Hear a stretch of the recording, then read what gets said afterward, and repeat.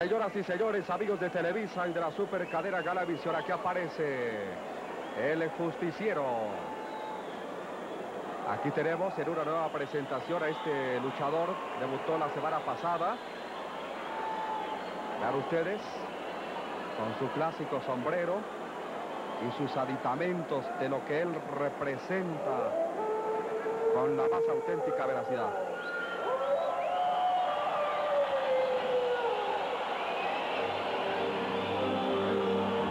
Señores, amigos de Televisa y de la Supercadera Galavisión.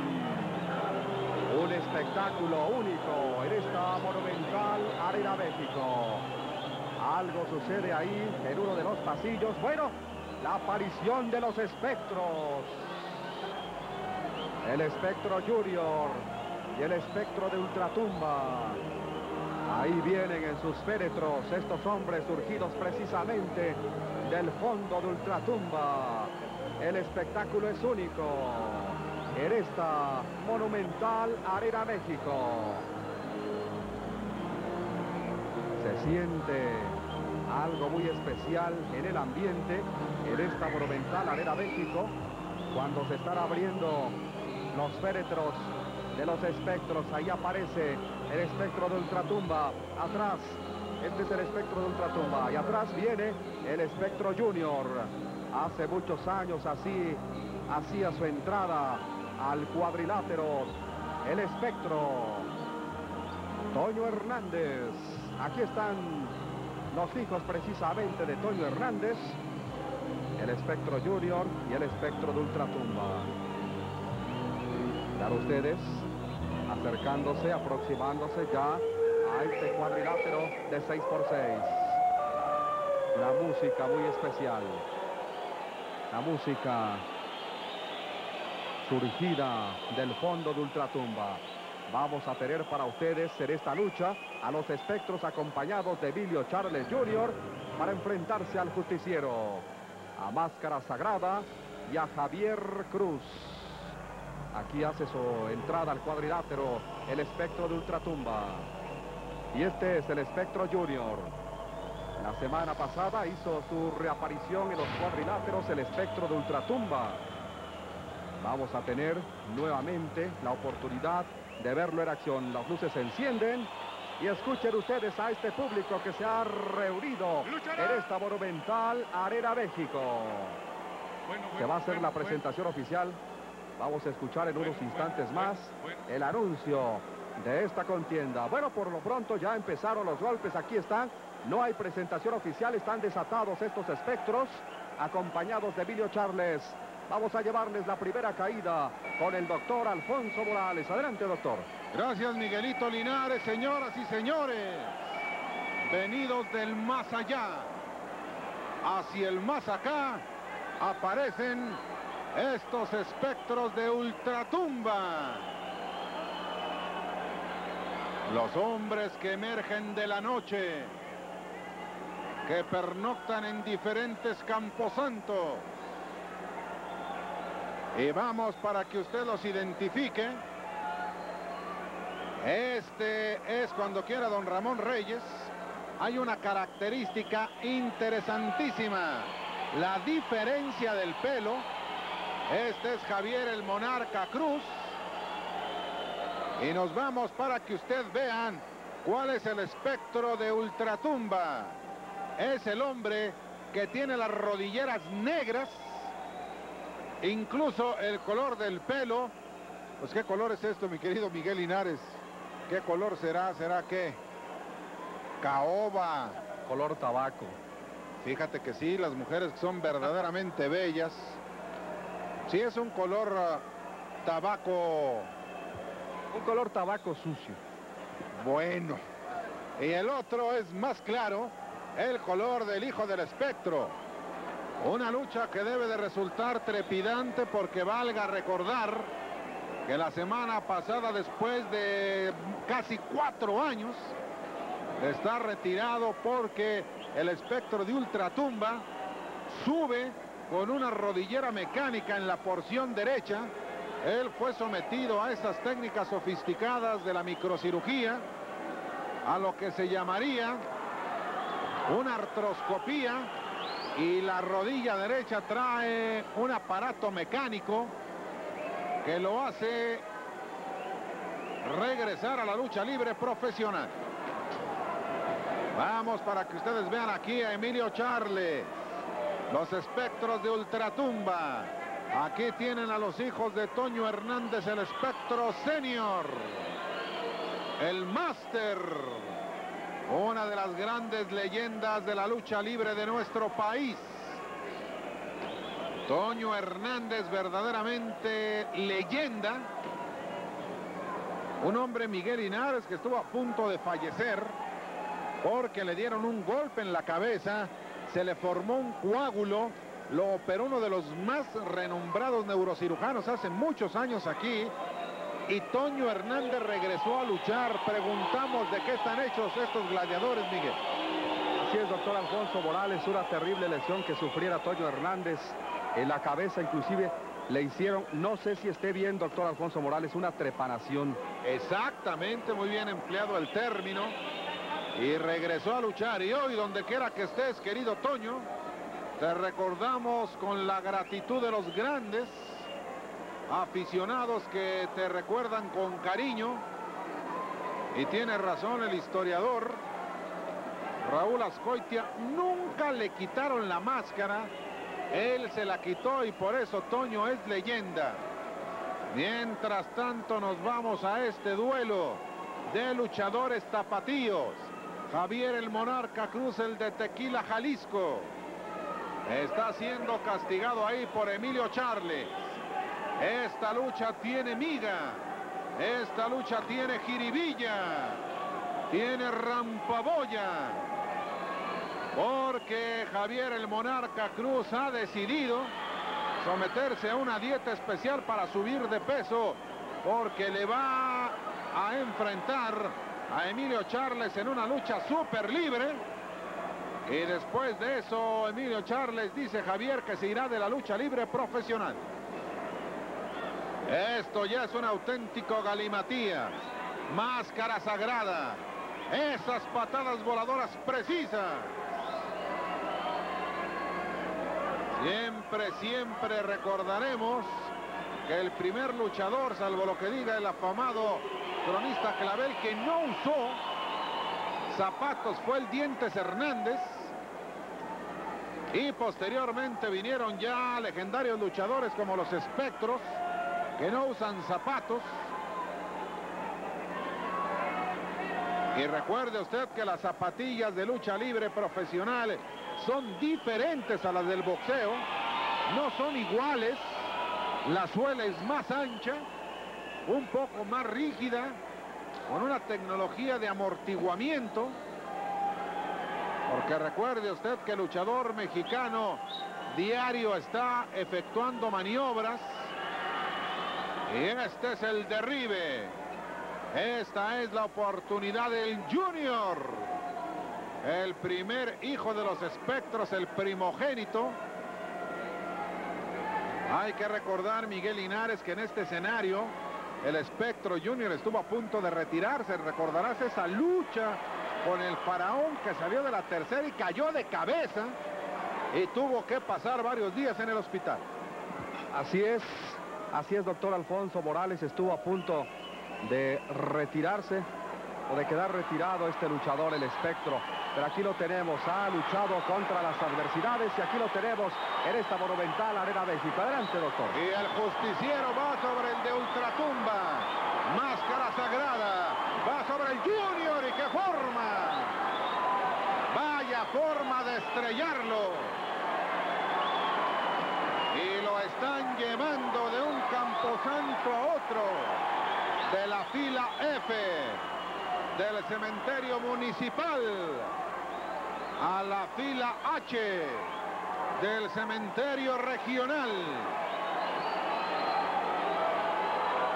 Qué forma de responder de Javier el Monarca Cruz, el de Tequila Jalisco. Verdaderamente una primera caída trepidante. Máscara sagrada con un equipo blanco. Con una patada que sin llegar a ser plena Filomena nos hizo recordar en este escenario a Beto González Cruz. El enorme solitario que, como dice nuestro bien recordado Pedro el Mago Septién, se fue a luchar a otra galaxia con el Santo, con Gori Guerrero, con el sensacional Lobo Negro. Este Reguiletti quebradora y. Sale el de Ultratumba. Mientras que aquí el justiciero, una de las nuevas, vean esta máscara maravillosa de este hijo del espectro que se dice que debajo de la cámara, de la máscara, está un hombre verdaderamente talentoso, un hombre que sabe mucho de conocimientos elementales de filosofía, y así lo está castigando el justiciero. Del justiciero se hablan grandes cosas. Una pasada de frente. Recuerde usted que el justiciero tiene un equipo muy parecido al del Rayo de Jalisco. A usted que por primera vez lo aprecia, guíese por favor, porque tiene las espuelas a los lados que son las espuelas de plata que tiene la máscara con el mentón, con el mentón descubierto. Y nos vamos con Emilio Charles esta rivalidad.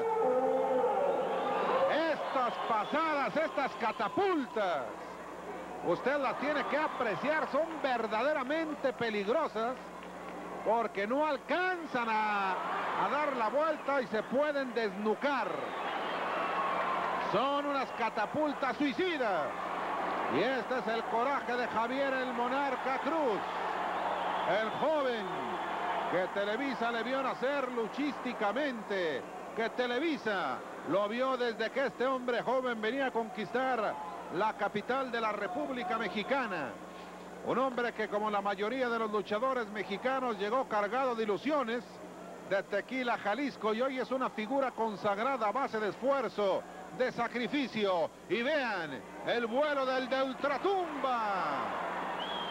Una plancha, proyección y vamos a ver una de las grandes, grandes leyendas de la lucha libre. La tapatía del gran Rito Romero de los Romero de Guadalajara, Jalisco.